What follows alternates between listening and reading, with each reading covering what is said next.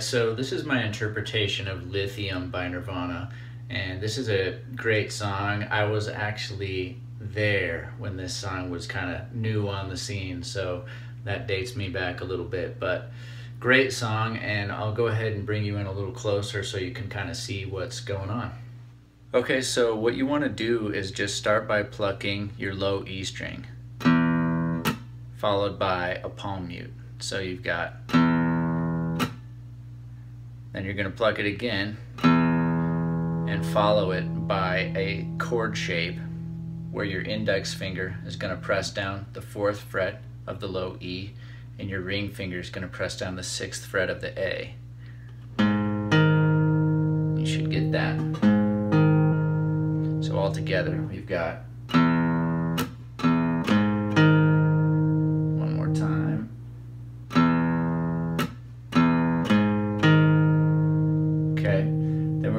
back to low E, but this chord shape, we're gonna bounce it down one string. So your index finger is on fourth fret of the A and sixth fret of the D. And you're gonna pluck the low E again. And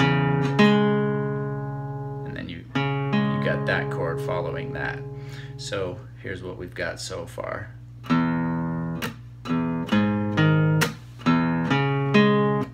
Okay, one more time.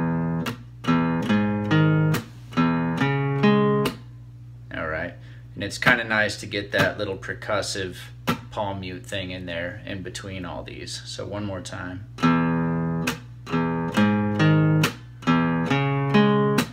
Okay. Then we're going to go back to low, bounce back to low E one more time. Now that's just a power chord adding your pinky underneath on the fifth fret, so your index finger's fifth fret of the low E, ring finger seventh fret of the A pinky seventh fret of the D. So you just kind of start your low E first, then follow that chord. All right, so here's what we got. We've got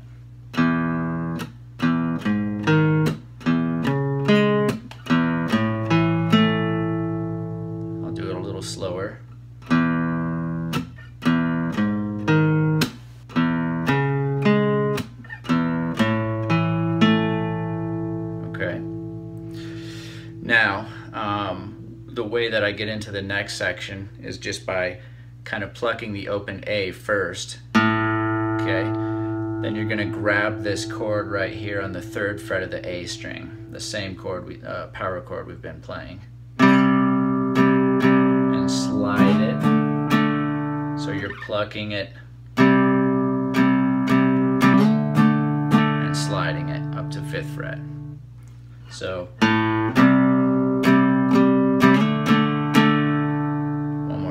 Little slower.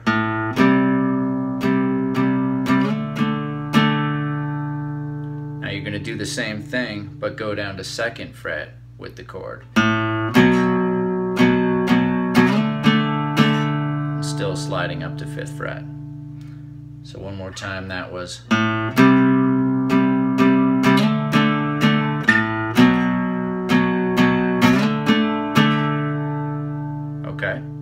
So that's the whole riff. Let's let's go ahead and try it. So we start on that open E with remembering to do our little palm mutes.